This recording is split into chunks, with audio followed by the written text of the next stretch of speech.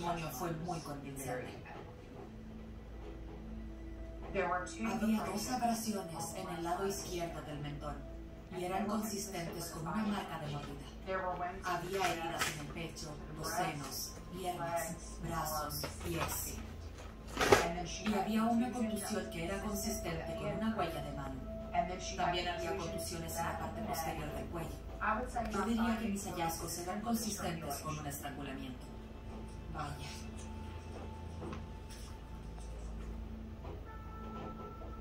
Vaya. Yo dejo un bebé. Porque la de ese papel era mi niña.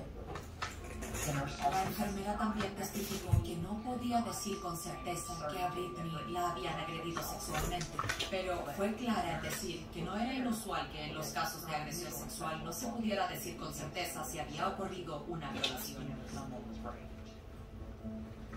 Sus lesiones corroboran su historia. I don't know what to do. I'm like, I, I've been choked almost dead, like, raped almost in my bed. Twice. So he did rape you? No, he did not rape me. He was trying to. En la llamada a emergencias, Britney dijo que no la habían violado. El fiscal Jason Pierce le preguntó a Britney, ¿por qué mentiste de que no te había violado? Britney no lo